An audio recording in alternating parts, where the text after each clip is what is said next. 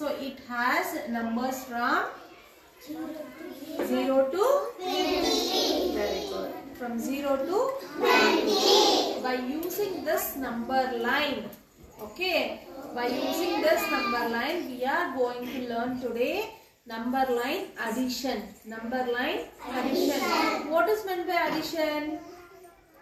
The sum of two numbers. The sum of two numbers is called as a addition.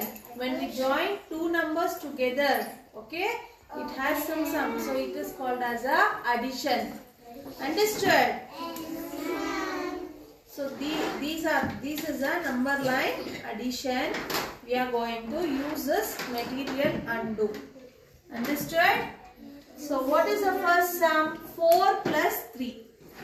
4 plus 3. Here it is a 4. Here it is 4. See. See properly.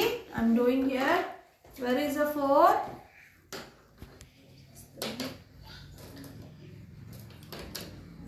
See this is the 4.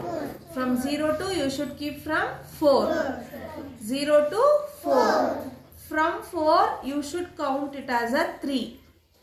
Where is the 3? Here it is a 3 again. So what is the number here? See properly what is the number? 7. So 4 plus 3 is? seven. 4 plus 3 is? seven. 4 plus 3 is what? Seven. 7. Let us arrange this one.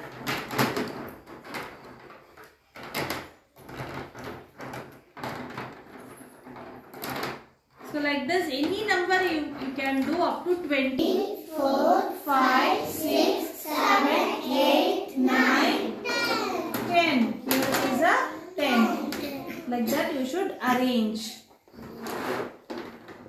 One. So you should keep the number 2. Understood? Yes, What is the next number? 2 plus 4. Here in red one you should take 4. 1, 2, 3, 4.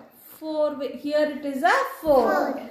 You should take like this and keep. What is the number here? Four. See properly. Seven. 6. Six. 2 plus 2 plus 4 is 2 plus 4 is Six. 2 plus 4 is Six. so this is called as a number line addition. So now keep it back.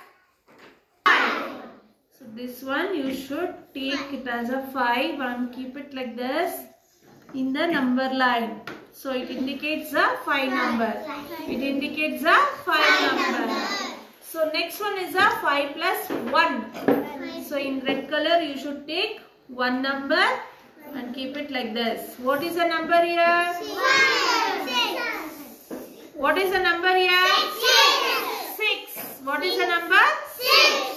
5 plus 1 is 5 plus 1 is 5 plus 1 is 6. It back. And next one is 7 plus 3. 7, take 7. 1, 2, 3, 4, 5, 6, 7. 7. This is the 7 indicator. So keep. See. The indicator shows the number 7. Then here what is the next number? 5, 5, 7 plus 3. 7 plus 3. So this is the 3 indicator. Keep it like this. What is the number here? 10. 10. 5, 7 plus 3 is? 10. 7 plus 3 is? 10. 7 plus 3 is? 10. So this is the number line addition. So if we go forward means it is a addition. Understood? The same thing if you go backward. So backward counting means what? Subtraction, right? Yes? So let us learn the subtraction in the next class. Now let us proceed with the addition.